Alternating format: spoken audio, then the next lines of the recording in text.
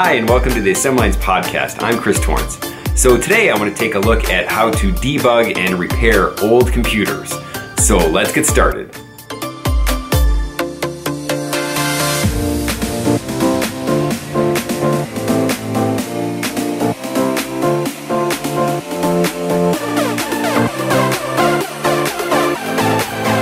So I want to give a shout out to Logan and Jeffrey Davis who have been posting lately on the Facebook Apple II enthusiast page about trying to repair an Apple II Plus computer which is acting up.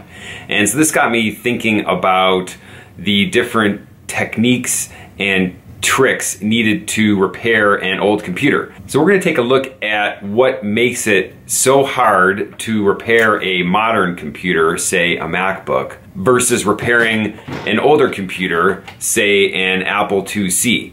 I'll be using the Apple II computer as a reference point, but all of these techniques should apply to any computer from the late 70s and 80s.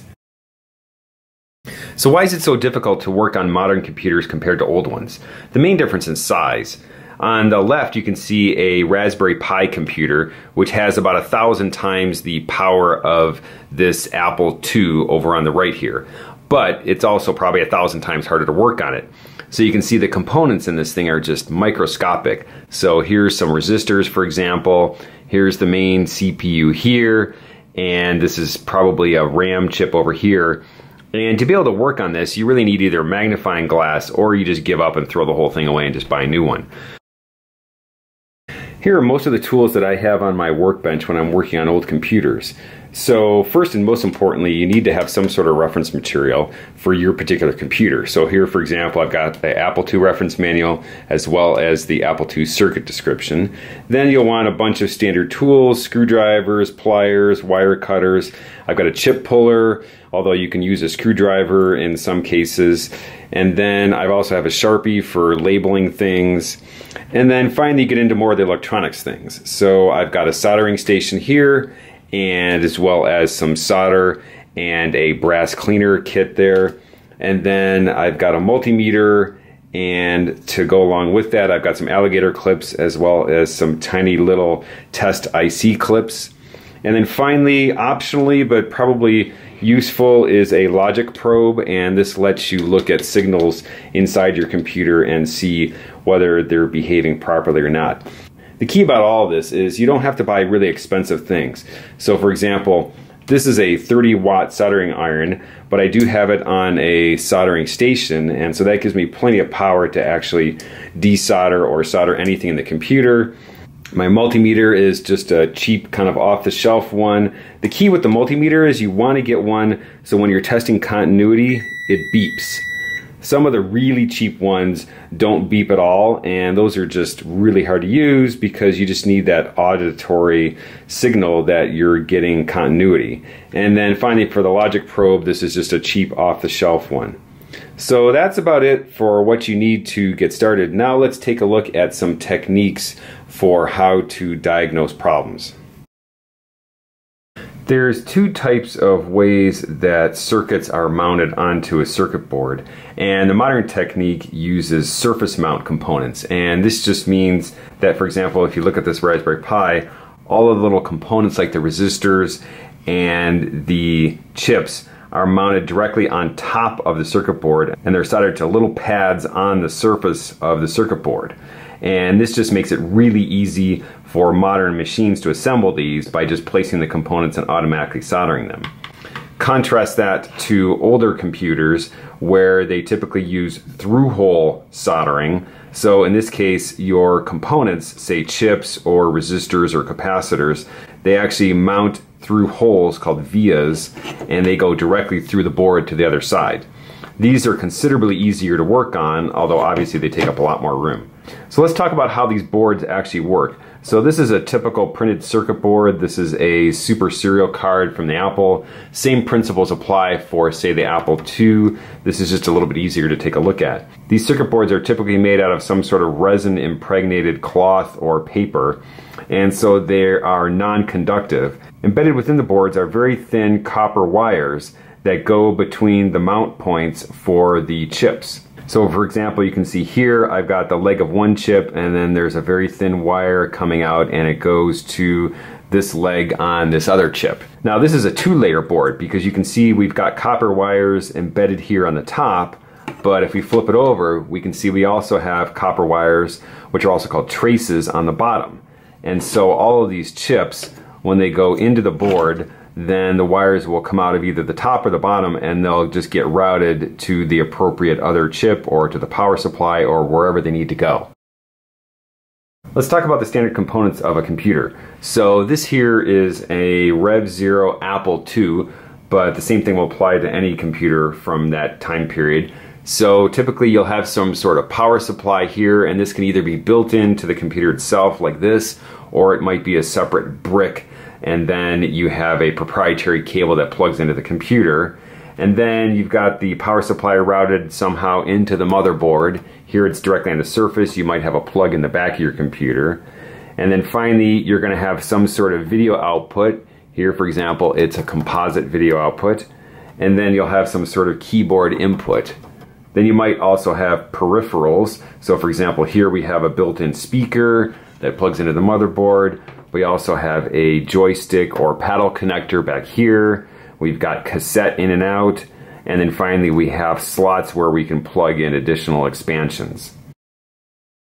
So what are some things to look for when you first get a computer that isn't working? Probably step number one is to just take apart the case and look at the motherboard itself. In a lot of these old computers, the only thing that's gone wrong is maybe a capacitor has blown. So a lot of these old capacitors, so for example, here are some capacitors here, and they typically have a shape that looks something like a upside down U, and these can get old and actually leak. And so that's a really obvious thing to look for is, is there a capacitor on the board that is either swollen or is already leaked? Or another example is do you have a battery on your board, say for a clock, and has that leaked all over the board? So those are really obvious things. And then if you don't see anything obvious, it's time to start digging a little bit deeper.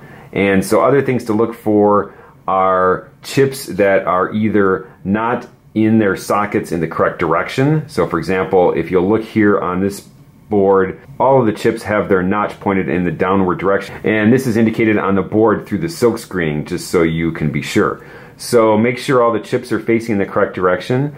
And then with a lot of these older boards, what happens over time is with thermal expansion as you turn them on and off, the chips will actually slowly become unseated and they'll just kind of move up a tiny bit and make a bad connection. So one way to easily fix one of these old computers is just go through and press down on all of the chips and make sure that they're all seated properly. And you can hear as I'm doing that, that some of these actually weren't properly seated. And so just by pressing down on them, you can actually sometimes fix a lot of problems. Okay, if that doesn't do it, then another thing to look for is examining the board much more closely and seeing is there some subtle damage that you didn't notice. So for example, look at the traces here on the board and see if all of them look obvious. Now if you recall from my earlier episode, on this particular board, that was actually the problem, is the trace here underneath this D0 ROM was broken just right here as if somebody had maybe dropped like a screwdriver on it. Okay, so that was a really, really subtle uh, but easily fixable problem. Other things that can go wrong, chips can actually burn out, so you might occasionally find RAM chips that are bad or other chips that have gone bad. Sometimes you can actually tell by turning on the computer and just feeling the chips to see is one particularly hot compared to the other ones. Now, a lot of times in these old computers, they'll all be hot, but some cases you can actually tell one is much, much hotter than another one, and that's typically a suspect chip, although not always. Let's say you're ready to dive in and start diagnosing the problem with your computer. There are some things you should do at the very beginning to avoid problems. So first of all, make sure that the power is off and everything is unplugged, and then remove any peripheral cards that might be in the computer. And to do this on the Apple, you just simply lift up very carefully and gently remove it. You don't need any sort of tool to remove cards from the slots. And then you might also consider removing any unnecessary ROM or RAM if you really can't figure out what the problem is. So for example, on the Apple II and II Plus, all you need is the F8 ROM. So this is the very first one here. So you can actually remove all of the other ROMs from the computer and this should get you to at least the minimal boot and beep. You can also remove the last two banks of RAM to leave the computer with only 16K of RAM, and so that's just this row here. And this can sometimes actually eliminate some problems in case there's a bad RAM chip.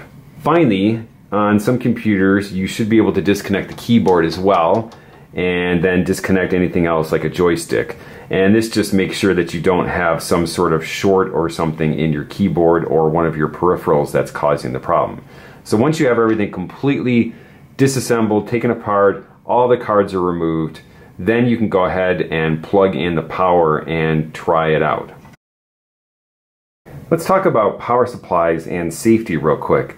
So here is the power supply for the Apple II and you'll notice that this is enclosed in a case with a label on it saying do not open and this is actually for a good reason. So there are some high voltage components in here. Specifically this has 120 volts of current coming into it. Yours might be 220 depending on where you are.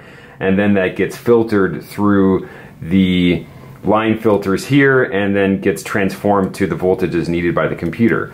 So these voltages can actually injure or kill you if you're not careful. So make sure to always unplug the power supply before attempting to work on it and remember that these capacitors can actually store charge for quite a long time. So try to avoid touching any of these components. Now, when looking at the power supplies, one of the main things that fails is these giant filtering capacitors over here as well as this fuse. So if your power supply doesn't seem to be working at all, then you could take two different steps. You could either try and open it up and look to see is there a component that's broken, such as a fuse or one of the capacitors, and just replace it yourself. Or a possible better alternative is just buy a new power supply.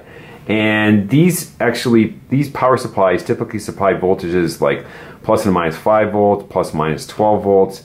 And surprisingly, they actually are still available, but in a much smaller form. So for example, here's a kit sold by Henry Courbis at Ultimate Micro, and this is just a drop-in replacement for a Apple power supply.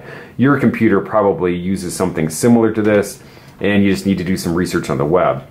So if you're reasonably confident that the power supply works, then you can go ahead and start trying to measure voltages or continuity on the board.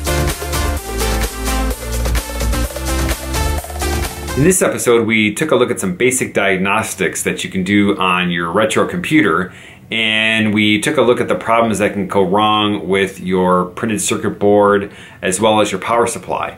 In the next episode, we'll take a look at how to use a multimeter to do some continuity and voltage testing. So, thanks for watching.